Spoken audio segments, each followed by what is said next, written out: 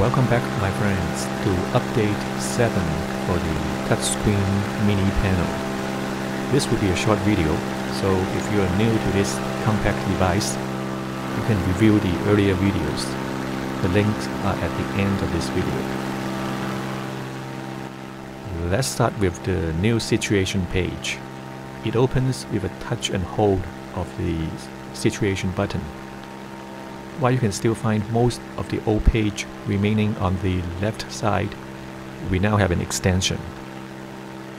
Since there's a new written document describing the TMP pages, I'm only going to touch on the new items on this page. The engine data block shows a calculated fuel endurance in number of hours. You also have a rate of turn readout. Then we have this peculiar looking half circle. It's here to assist you to approach a waypoint. Lack of a better name, I call it the approach wheel. It is coupled to the nav data on the right. The square dot that you see represents the relative position of the waypoint. The square is yellow when the distance exceeds 4 nautical miles. It turns to green when you get closer. The tail depicts the approach vector into the waypoint. The approach direction is selected with the course here. For example, you are coming in to land at runway 05 at an airport from some arbitrary position. You would dial in 050. The tail would line you up for a direct approach to runway 05. This would come in handy when you want to set yourself up for a straight-in final.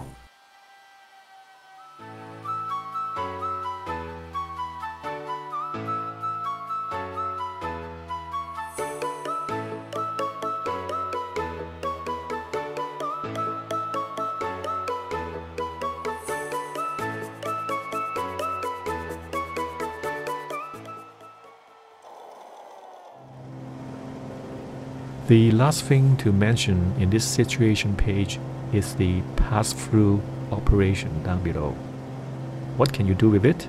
It allows you to gain control of the rotary encoders from the autopilot and the GPS pages, while remaining in the full screen situation page here.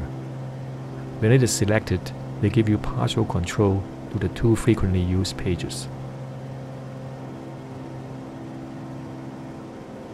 And for the GPS rotaries.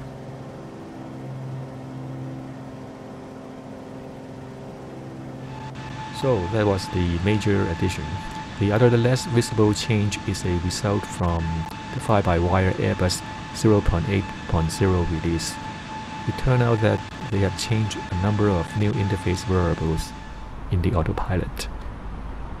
So if you are flying the latest fly-by-wire, you'll need this TPM update. There are also some graphic enhancement for the FCU labels. A dot will show up when you are in managed mode. The label will also follow the heading and track mode.